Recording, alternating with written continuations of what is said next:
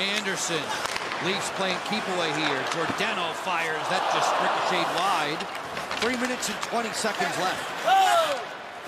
Toronto on the verge of improving to 31, 12, and 8. Holmberg, headman, Aston Reese right on in. Backhands and scores. And this last one, a quick up, little sauce, and what a play by Aston Reese. He goes to the backhand, beautiful pass up the gut there. Nice little feather pass moving up the ice, and they catch the caps. Beautiful pass by Holmberg, by the way.